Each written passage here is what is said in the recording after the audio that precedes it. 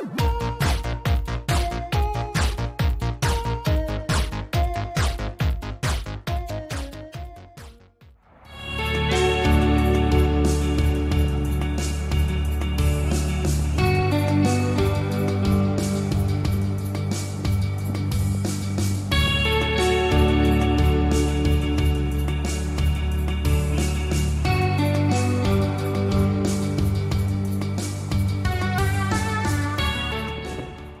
Sometimes we follow the road,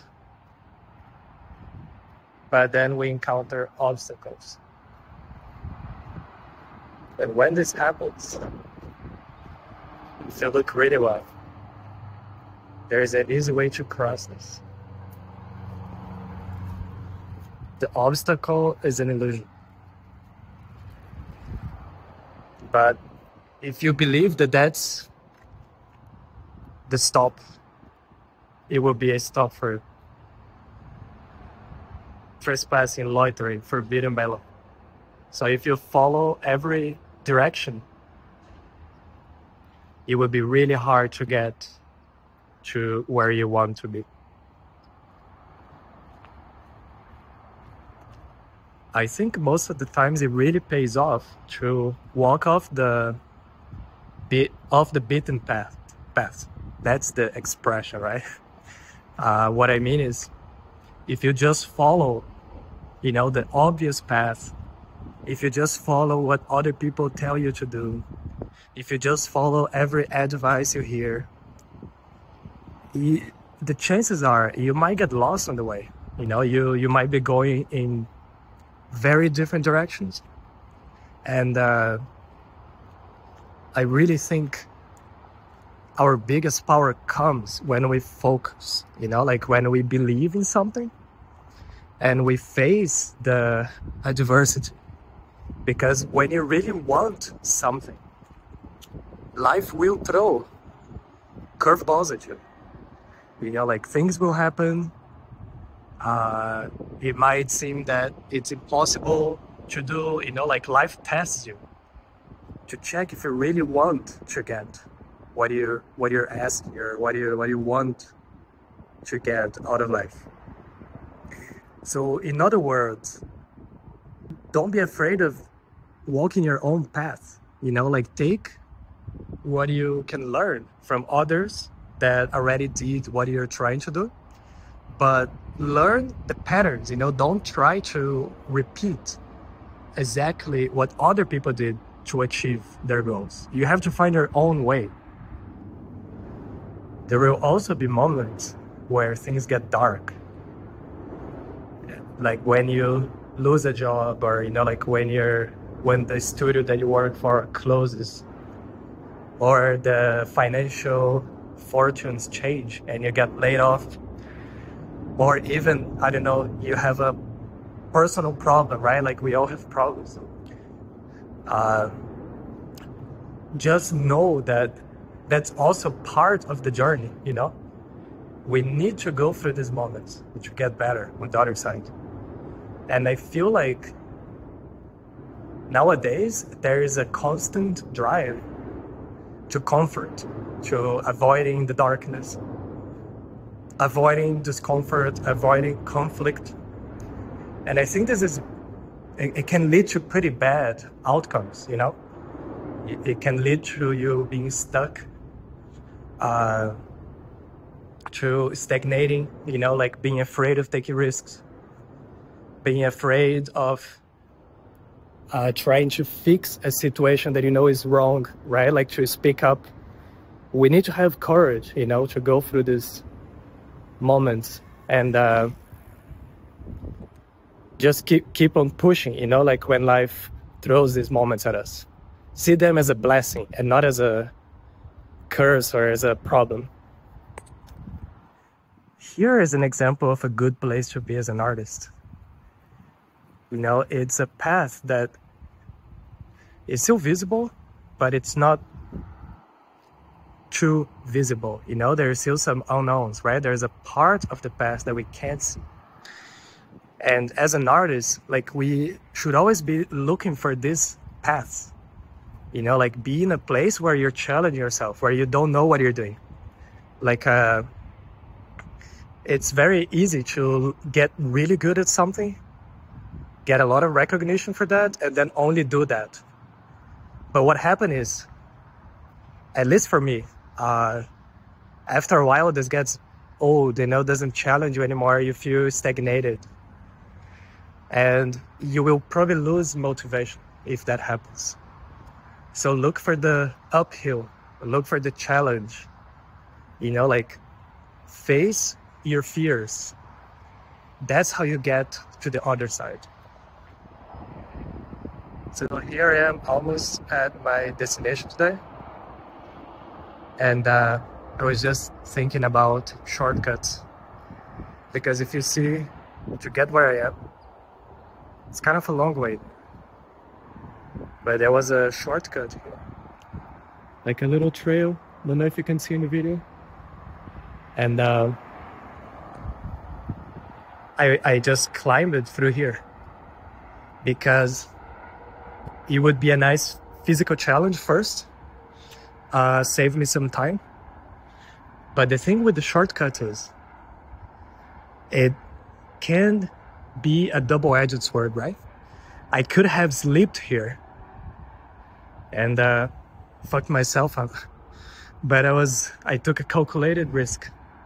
I I know my body. I know what I can do. You know, like I was being very conscious when I was climbing this, and that's a good mindset to have when you're challenging yourself.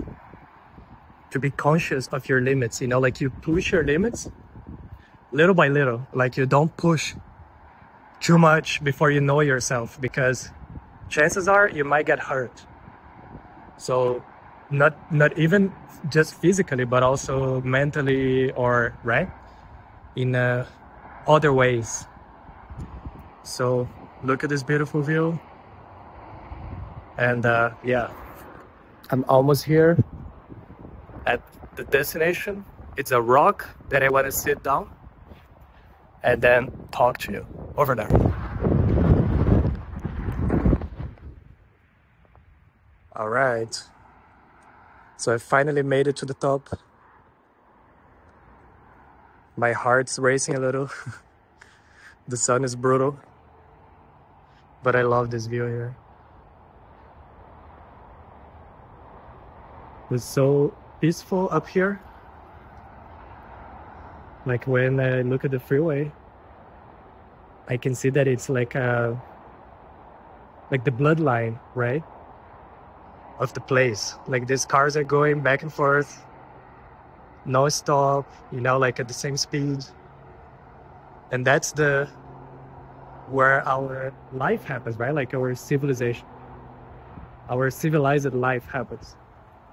And when we are in the freeway, we are in this autopilot mode. Like we could be with our thoughts or somewhere else, but the fact is on the freeway, you need to pay attention.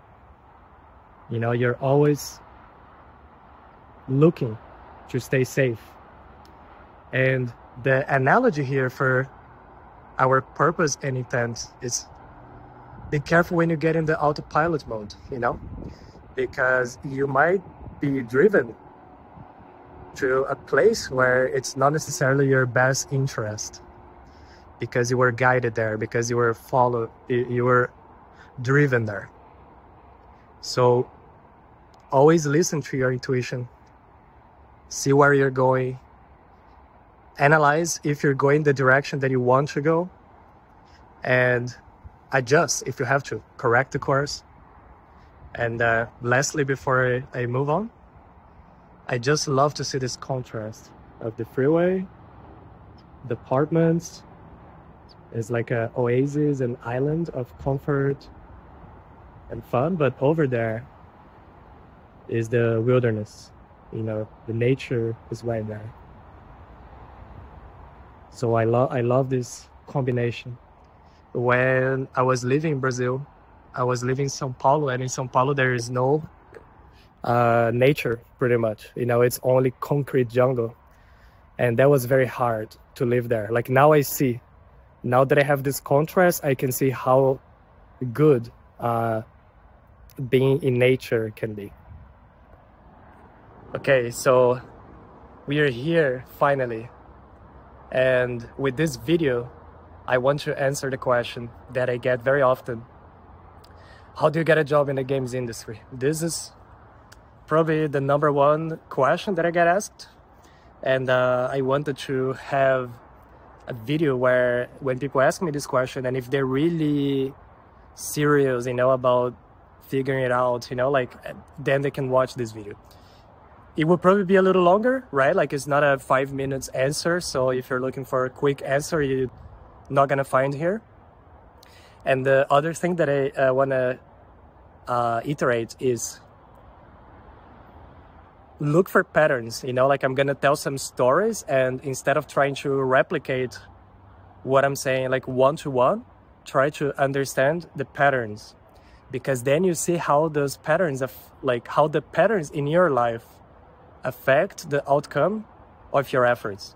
And that's how you can have real change you know? Like don't try to be like someone else. Don't try to live someone else's life or do what other people are doing. Like find your own voice find your own path your own way and you will see that when you are in the right path the doors just open to you. It's like magic you know? Like um, the things just happen you know like you meet the right people at the right time or the the right person sees your work at the right time you get email from a recruit, recruiter out of the blue you know like things just happen. I most of the jobs that i have i didn't have to apply you know especially after having a certain level of experience the jobs just come to me. But when i was starting out it was not like that right? Like i had to create from my career from from scratch so in this video, I want to first talk about how I got here and then discuss some of the patterns that you can apply to your life. Uh, and, and again, like I, I really stress this. As you watch this, I urge you to see through your own eyes, through your own perspective, you know, like try to see the patterns, not necessarily the story literally, you know, like I'll, I'll help you with this. So, so to get started, uh, like many of you watching this, I I grew up in a country that didn't have like a games industry, right? It was a very hard thing to do. Like there was very few jobs. So I started first by just making uh, maps for Counter-Strike. And I really loved doing that. Like I was doing all day if I could, you know, like during my teenage years, I was spending way too much time you know like i was it was a passion. And uh, back then i only got a computer when i was 15 years old. And uh, we didn't have a fast internet in brazil. Like a uh, dsl was not a thing back then you know like most of you don't even know what dsl is. But it's basically like you you you you can be on the internet as long as you can and you're not charged by the minute you know like the first uh, time I got internet, it was charged by the minute. So it was very expensive to go on the internet. So we, I would only go to the internet, you know, like to download programs or textures or, you know, like this stuff. But there was no social media back then. There were forums, you know, like, uh, and forums were nice because they united people with common interests. And I really miss this in social media because social media is a public forum, right? Like everyone with very different backgrounds, very different opinions, different interests, they're all playing the same game. And uh, I, I miss the times when we had the forums, you know, like where we could give feedback to each other and those forums were brutal. So I spent a lot of like years, you know, like working on maps, learning new things, posting my work on the forums and, and getting like like ripped to shreds, you know, like the feedback was brutal. Like you kids got it easy today, you know, like you post on Twitter and everyone is like, oh my God, that's beautiful, that's amazing. But back then, even like to get a, a good compliment, it was real fucking hard, you know, like people were brutal. There was a lot of competition and um, competition is great because it, it forces you to get better, right? Like you either get better or you lose and for many of us watching this, we don't want to lose, right? We want to have a result. So we work hard to not be a loser. so those first years, you know, it was all about developing my artistic sense, my design skills, you know, like my technical skills. It's about it was about learning the tools, learning the trade. You you don't get good overnight, you know. And back then, we didn't even I didn't even have like this perspective of like, oh, that's how long it takes to get a job. Like I didn't even know if it was possible to get a job because like as I said, there was no games industry in Brazil. You know, like to get a visa to United States for me would be impossible at the time because you you needed to have like really high uh, like awards or like recognition in your area, which I didn't have, or you needed to have a bachelor's degree, which I also didn't have. So for me, it was like, okay, I'm just gonna keep doing this, and you know, and I know that one day things will happen. So that's a, a good mindset to have to happen, you know, like have the patience and believe with every cell in your body that like one day it will happen, you know, like what you're looking for will happen, you know. If it takes one year, two, three, four, five, ten years, doesn't matter. You will do whatever it takes to get it, you know, like if you really want to do it. And um, so like moving on, uh, at some point I had a portfolio, right? I had a few maps I was already modeling. I knew how to make props and textures, unwrapping, like all that stuff. So I put a portfolio together and they sent to the biggest game company in Brazil, the game studio. It was called South South Logic Studios, and they were doing like uh, outsourcing for like next gen games. You know, like Xbox 360 were called next gen back then, and they also had a game called Deer Hunter Tournament with their own engine. It was a hunting game, like with normal maps, like specular, like all the all the good stuff. And uh, so I sent my stuff to them, and they replied like I think a week after, and they were very nice. They just said, "Oh, it's very cool that you sent your portfolio, but right now we are not hiring anyone, you know, but we'll consider you in the future." So at least I got on their radar, right? And I forgot about that. And then about one year later, I got a message from one of the artists there. And he was like, oh, you know, like we're starting a new project here. And I remember your portfolio back then and it was really cool. Uh, do you have an updated portfolio? And then I just rushed, you know, like, and I, I, uh, I put a new portfolio together. I sent to them and then uh, we interviewed and they were asking me like if I could if I could do normal maps and I could do bake and I was like yeah yeah yeah yeah I know all that stuff but I didn't know shit. Um, like I knew the idea, but I never done it, right? But I just lied to them. I just thought, oh yeah, I can do it. Give me a chance. I just wanted a chance. So I worked as a contractor in this game. You know, like they gave me some assets to make, and it was an incredibly helpful experience. Like it was really awesome because this guy, uh, Fernando, he gave some amazing feedback and direction, you know, like he had a lot of patience because the I delivered some stuff that was not up to the standard, but then he would be he would give clear instructions and I would go back and learn and redo, you know, and get it right. So I'm really thankful to him, you know, for that opportunity and for that coaching. So what's the pattern here?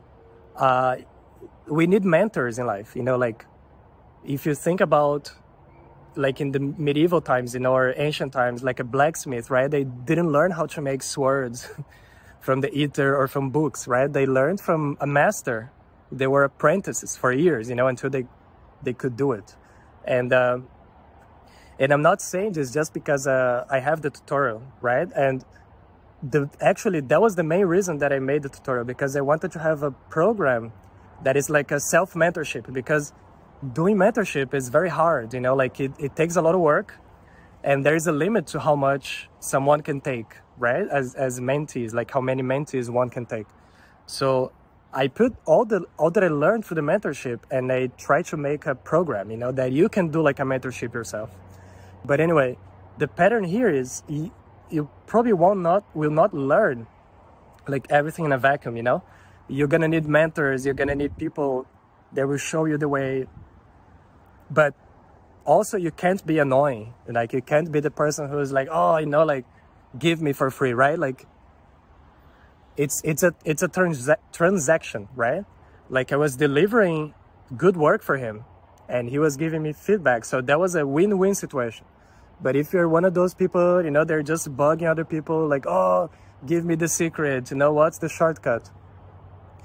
And like, I did that. And a lot of times you antagonize people, you know, so uh, just something to keep in mind. So after the I, I, I did that contract, it was the first time I made any money, you know, like with uh, with games, uh, with environment, right? And uh, I used that money to buy a, uh, a Wacom, like a tablet for, for drawing. So I, I invested the money in something that would give me more returns. And that's another important lesson, you know, like before you have a financial stability, you need, you need to be wise with your money. And that doesn't mean like just saving every penny and being super frugal, you know, like it's about being smart, you know, like don't waste on bullshit, right? Like and save some of it, invest, you know, like buy new hardware, like things that will help you on your journey. Buy books, courses, mentorship, memberships, whatever it is, right? Like use that money to uh, accelerate your growth. And uh, so after uh, that time, I was just working on mods again, you know, and I was in, in part of this mod called Insurgency and we were all working all over the world, like people from everywhere, and we were working for free, like completely for free. It was a total conversion of Half-Life 2. And I mention this because the best work that I've done is when there's no money involved, you know? Like when you're working just for love, just for passion, you work in a different way. So that's another uh, advice I give to you know, and I look for a project that you are passionate about, that you're gonna be like, you know, excited to work on. Get together with friends, you know, make uh, game jams, uh, participate in contests. That's another way to, like, don't think if you're gonna win or if you're gonna lose, you know, just par participate. Um, because, and make a point of finishing your project. You know, it doesn't matter if you come in 20th place. The point is to finish. And uh, I participated in a lot of contests. And they were always a great time because you have a deadline, so you need to do something like that forces you to make decisions. You build portfolio, you build recognition, uh, you, you get experience, you know, and who knows, you might even win and get some awards, right, that you can use uh, later. Uh, so then at some point I was I, I had a job at a I was working at a print shop. it was like a, a, place where like people would go to print stuff, you know, like to make business cards. I was like a, a graphics designer with a Corel Draw, and that job was uh was pretty. Oh man, I, I didn't like the job. It was not bad. It was it, it was just not challenging, and it was really long. I had to be there all day. Uh, the the boss was always watching me, you know, so I couldn't, you know, like read or do stuff. Like if there were no clients, she was on my ass, like, oh, you should be working, you should be practicing. She was really annoying.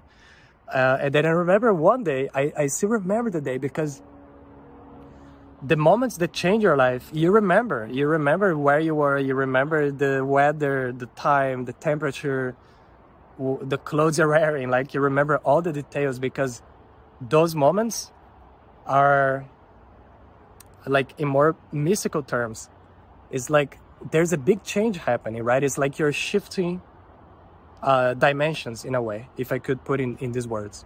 So for me it was this day where i between a client i was just browsing the news and uh, there was on the front page of the biggest brazil uh, website the news that uh, ubisoft was going to open a studio in sao paulo and when I saw that, right away, I knew I was like, okay, this is my chance. I'm gonna make it work. Doesn't matter what I have to do, I will work there. It's like, I remember, it's like uh, something open in my mind. And uh, reading the interview, the director of the studio, super awesome guy from France, like one of the first guys at Ubisoft, uh, he was saying that the studio was gonna focus on games for uh, girls, for uh, like casual games for girls for Nintendo DS, And my portfolio was the opposite of this, right? It was only shooter stuff like Iraq war, sci-fi stuff. Uh, there was no cute girl, low poly stuff. So I knew that I had to create something to show them that I can do the job. And here's another lesson. No one will hire you if you don't demonstrate that you can do the job. Like it's not a charity. Like you're not going to be hired because you deserve or because you worked so hard or whatever excuse. You, you're going to be hired because you do a job and you do it well. That's the bottom line. That's why you're going to get hired. And so at the time I was working full time and going to design school at night, right? So I would get to work at like 7.30 or 8, it was super early. Um, and then go to university at night and come home around 11. And then I would work on my portfolio until like 3 or 4. And I did this for maybe 3 weeks. Uh, it was really hard, but I created this low poly bedroom and I put on my portfolio. So then I applied and it worked out, you know, like I was I remember they were saying that they got almost 10,000 applicants for the job. And they chose 20 out of those 10,000. So it was, I don't know if the com competition was probably like not that, like 10,000 good people, right? It was probably like maybe like uh, 50 like good people, right? Uh, but anyways, the lesson here is it looks like it was lucky, right, for me. But luck is when preparation meets the opportunity, right? Like when the opportunity showed up, I was ready. I had a portfolio. I just needed to include a new map. Um, I already done interviews before, so I could do that, you know. So it all worked out. I worked at Ubisoft for two years. It was an amazing time with an amazing group of people. It's really sad how the studio uh, closed before we could reach our full potential. Uh, but anyways, that's a story for another video. And when the studio closed down, I was uh, working on a scene, like to update my portfolio. It was a modular scene. It was around the time where Mass Effect came out. And I was blown away by the game and I loved how everything was like made modularly and how colorful the game was. So I wanted to learn to make that kind of art. And I was working on this scene at home. And uh, the lesson here is like you you gotta have this beginner's mind, you know, never stop learning. Like at Ubisoft, I was working with DS, PSP, like low poly stuff. But at home, I was creating, you know, like uh, Unreal 3 environments with normal maps and specular maps and stuff. So always be learning on your free time. Always, never stop. And uh, so Ubisoft closed, right? and they promised that they would help us, you know, get a job in other Ubisoft offices. But the fact is they didn't. you know, like one of the guys there helped himself. But that's okay because uh, things worked out much better had I gone through Ubisoft. Because I made up my mind that I was gonna leave Brazil. I wanted to move to Europe. I didn't think United States was a realistic choice at the time because of the visa and uh, I finished this environment and uh, I started applying everywhere to all my favorite studios like Capcom, DICE, Remedy, you name it, everywhere, uh, Green. Uh, and none of those studios replied me, like not a single one. And I don't think it's because my work was bad, it's just because it's not effective to apply for the website, you know, because they get so much spam uh, a lot of times they don't even see your application. So I was posting this map, right, on, on the internet and it started to, to get some attention. You know, it was featured on Polycount. And if you go to my website, is the Zest Foundation map. And uh, it was featured on Polycount on the top four, on the top banner, you know, so my name was very prominent there. It got a lot of eyes and at the same time, I was living in Sao Paulo in the same building. I was living with my aunt there. And my great grandmother was, li she lived in the same building too. And every day after work, I would come and stay with her. And uh, she was in the end of her life, you know, and I really wanted to enjoy those last moments with her because I just loved her so much. She was such a fun person to be around, amazing woman. And uh, so you will see why I'm saying this And I kind of put in my mind that, you know, like while she was still alive, I would be there with her. So as the days went by after Ubisoft went down and I was applying, I was doing some freelance and stuff, she started to, cause she, she got a little heavy, right? She couldn't walk so much anymore. So she was losing the joy of living, you know, she was losing the desire to live.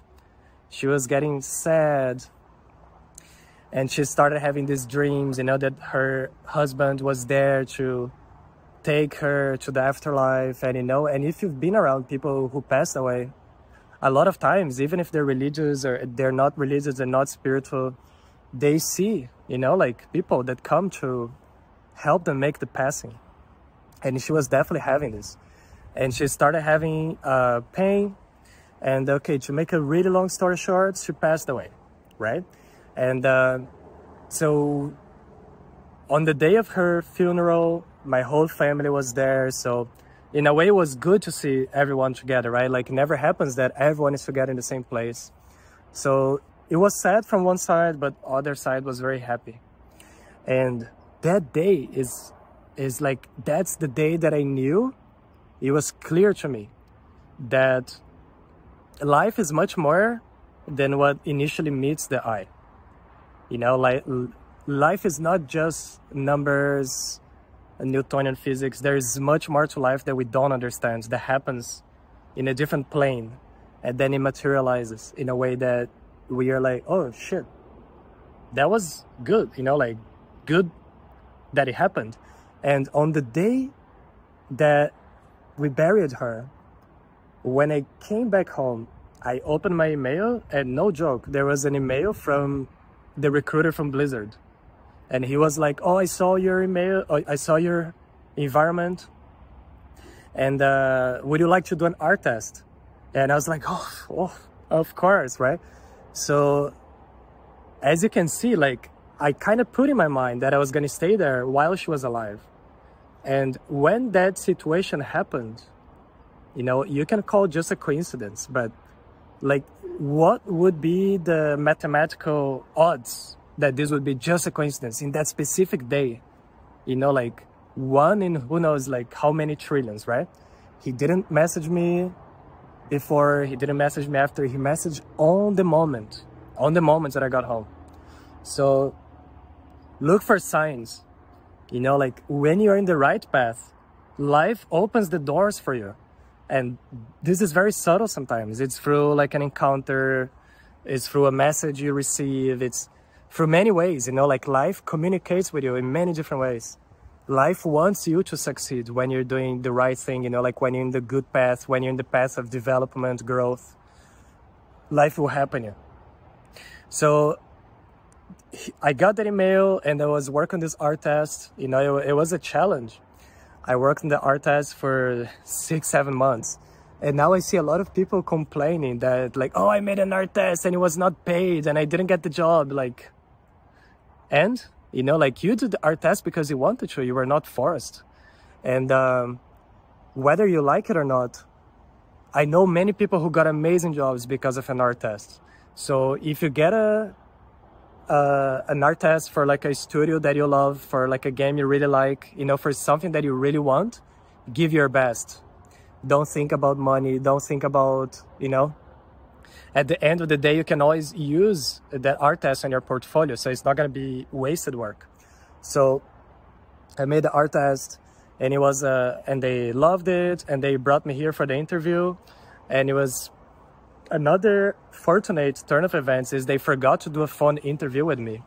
And I would probably have failed because my English was pretty bad back then. So I got pretty lucky there. Uh, so I had some time, you know, to practice my spoken English.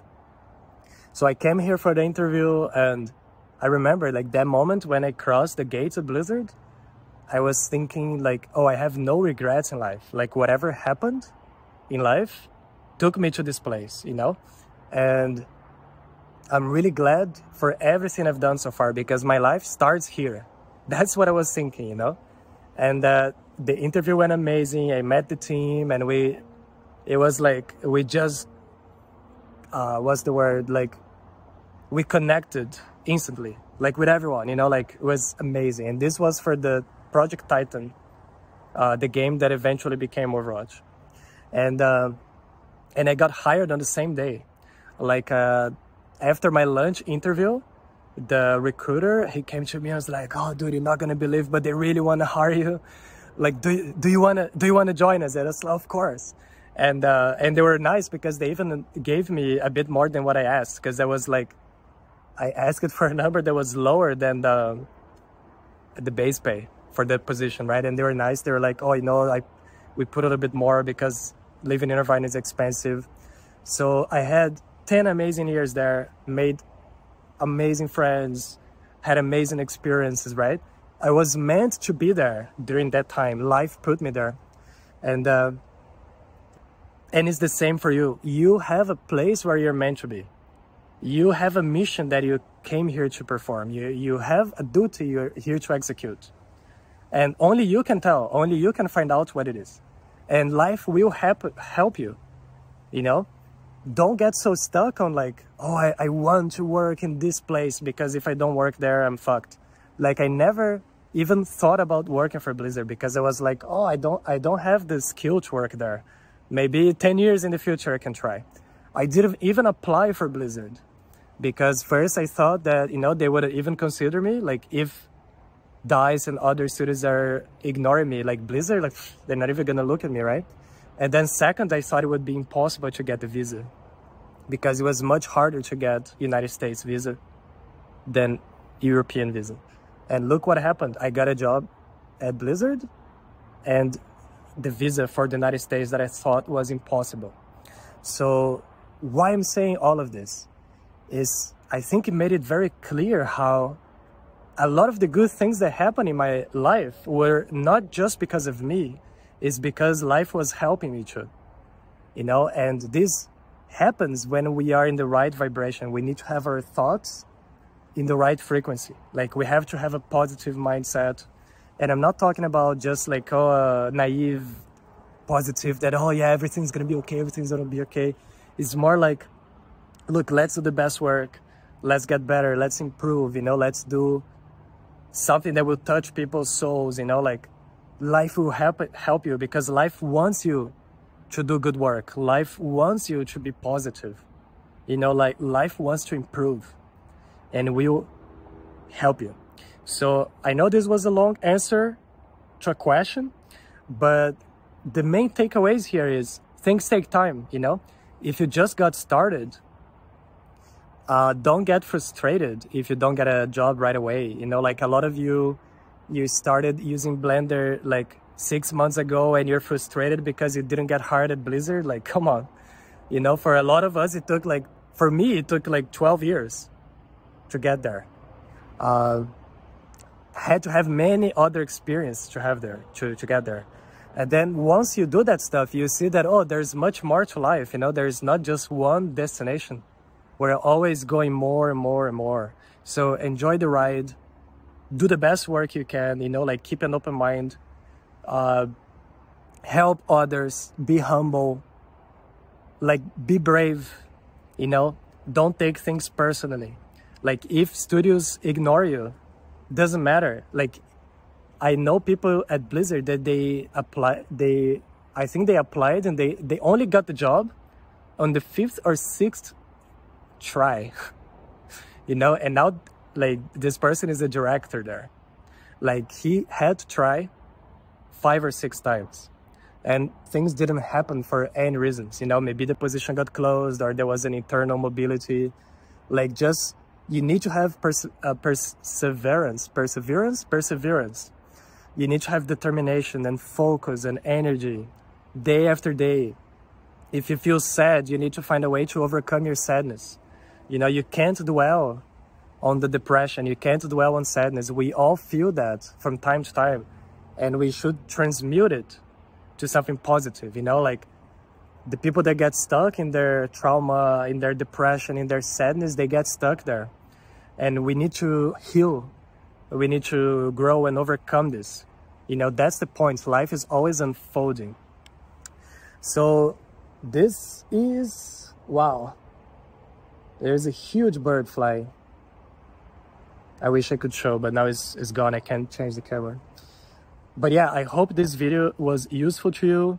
Uh, I know it was a very long answer, but I hope that this will help you see the patterns in your life, you know, help you have an open mind, open eyes, open ears, and just let life help you. Help life to help you, if that makes sense. So good luck on your journey. I wish you the best. I really appreciate everyone that watches these videos and leave a comment, you know, like let me know if this was useful to you, if you like this format.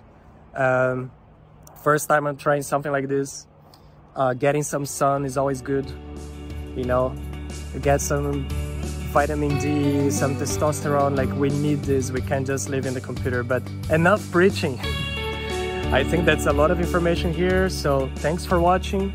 Let me know if you enjoyed this and if you have any requests for videos, uh, just leave a comment and I'll do my best to get to it. So have a great day and I see you next time.